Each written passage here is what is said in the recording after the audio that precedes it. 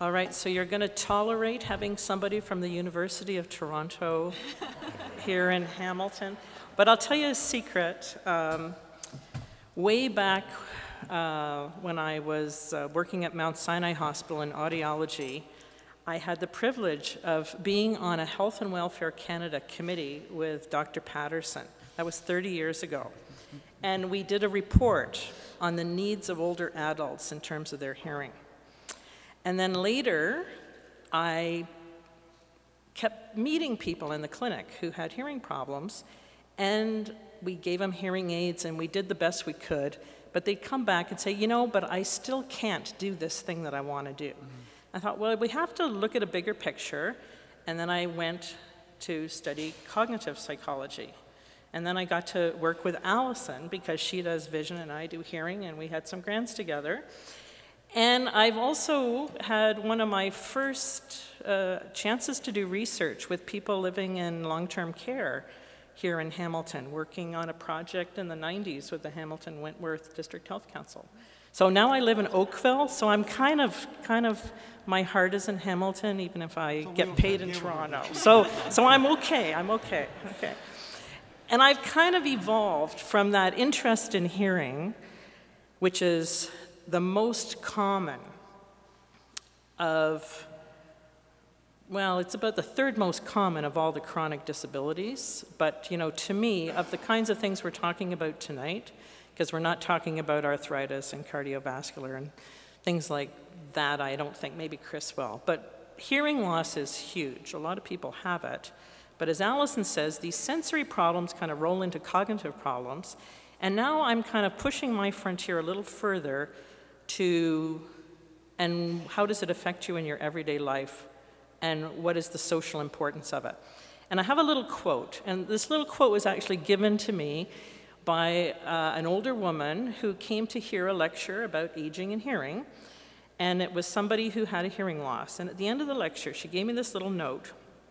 And she said, When you're hard of hearing, you struggle to hear. It's that cognitive effort. When you struggle to hear, you get tired. When you get tired, you get frustrated. When you get frustrated, you get bored. When you get bored, you quit. And then she said, I'm so happy I didn't quit today. So we're going to talk about use it or lose it. But I guess another way you could think about that, and I want you to go out tonight and think, I'm not going to quit. I'm not going to give up. If there's something I want to do, I'm going to find a way to do it. So you've heard things like an apple a day keeps the doctor away. Uh, so eating good is part of a healthy lifestyle. Exercising is part of a healthy lifestyle. Being mentally active is part of a healthy lifestyle. As Allison said, a lot of older people have the time to learn a musical instrument or learn a language or take up being active as volunteers. So I want to add to that list that keeping active as a communicator is probably even more important than all of those things. So why is communication so important? And, I, am going to give you three reasons. So communication is important because it's how we define ourselves and how we define our relationships with everybody else. So our personal identity and our group identity, that is how we know who we are. So I don't just mean communication like with your neighbor, that's huge, but it's also communicating with the world. You know, it's when your microwave beeps, it's when the fire ambulance, uh, fire truck or ambulance comes down the street. It's when there's rain on the roof like there was last night. Okay, so you know what's happening in the world. That's a kind of a communication between you and the world. And you also have communication to keep control of yourself. You know, in the agriculture school, they actually teach about uh, hearing and vision and smell and taste. You know, well, why do you teach about hearing in the agriculture school? Because it's not an apple unless it crunches. And you know, you can regulate your breathing, you can, you can keep track of your own body and your own self, and that's a form of communication too. So communication is just, you know, who are we if we don't communicate? The other thing I think is fantastic about communication is to do it. you have to have good sensory systems, you have to have a motor system, you have to be able to talk, and you have to be able to wave your arms around. Um, if you're communicating by dancing, you'd have even more motor activity. You have to have all those cognitive things, the memory and the attention.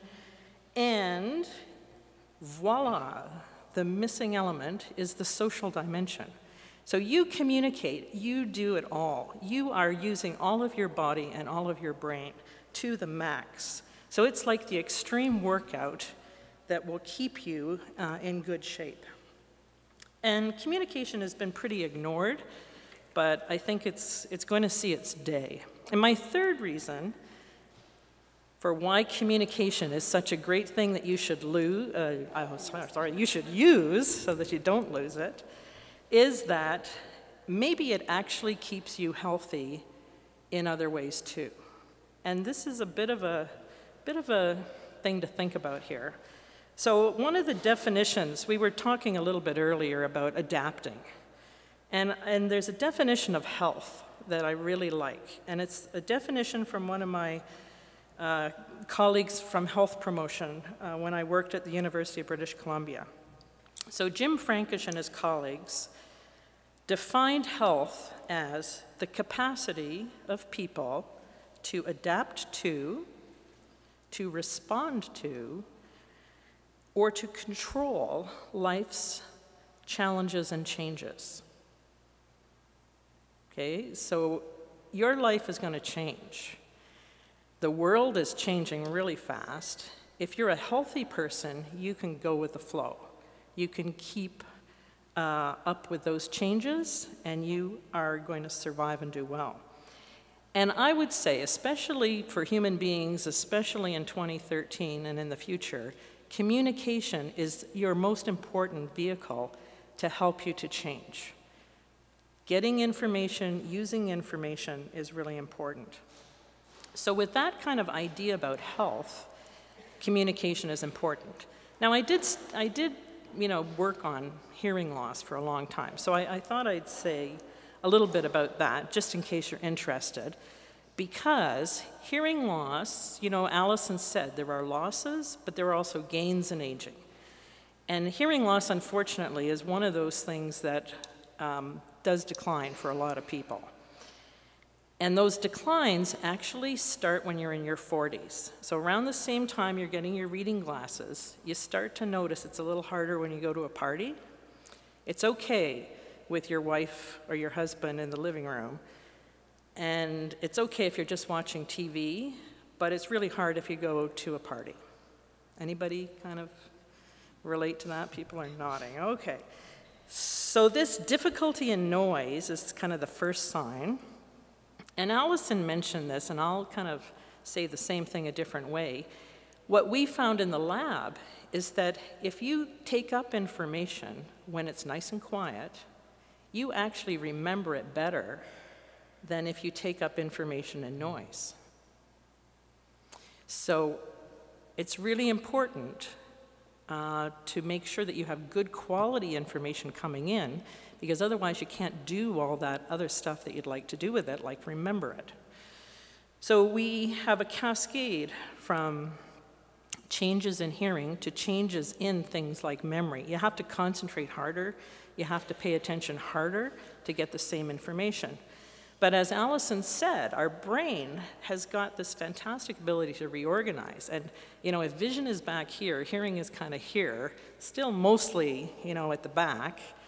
And the part of your brain at the front that, in fact, old people are fantastic at using allows people to hear things like conversation because all of one of the things that people are good at that's very well preserved cognitively is knowledge you know so if you came to my lab and i did a vocabulary test on you the 70 year old is going to have a much better vocabulary than a 20 year old so that's an asset and you use all that knowledge that is, you know, functioning at the front of your brain to kind of compensate. Allison used that term, compensate, uh, so that you can get the job done of understanding. So you have ways of, of maneuvering through this and getting the job done, and you don't have to quit. Now, actually, what I've told you about so far would not be the kind of thing that would take you to an audiology clinic. Because actually, the people I've been talking about so far who we study in the lab, they have actually fantastic ability to hear pins drop. So it's this more complicated dealing with noise that's their problem. But some people do lose the ability to hear quiet sounds. And about 50% of people, by the time they're around 70, will have enough of that type of loss that they might go to an audiology clinic. And actually, 70 is about the average age of when people first get a hearing aid. It all starts when you're 40. You know there's problems, but it can take a couple of decades before you actually are going to go to a clinic to do anything about it. I don't want to get a hearing aid because it'll make me look old. So there's some kind of weird connection between getting used to these uh, problems and actually accepting being old and, and uh, knowing that you can do things and that just because you're old doesn't mean you can't do things. And I'm going to kind of finish with a really kind of provocative headline that you've probably seen in the news that this connection between hearing and cognition, if we take it to hearing loss, you've probably seen that headline that uh, some researchers in um, the US have made. In fact, last week there was an article in Journal of uh, American Medical Association, again showing that people with hearing loss are more likely to have dementia in the future. So, why is that? And nobody knows why. They know there's a connection, but nobody knows why. Maybe it's because of biology and there is something that goes wrong, that goes wrong first in your ears and later in your brain. But the hypothesis that I love, and which the authors propose as a possibility, is that maybe the connection is because of social activity. So if you have a hearing loss, instead of going for it, if you decide to quit, you're going to drop out of your social activities. And if you drop out of your social activities, you're not going to be using your brain so much. And if you don't use your brain so much, maybe it's going to deteriorate. So maybe there is actually a social connection um, which is really important and that we're just going to begin to understand. So I'm going to stop there. And we're going to have lots of communication tonight, so everybody's going to do just fine.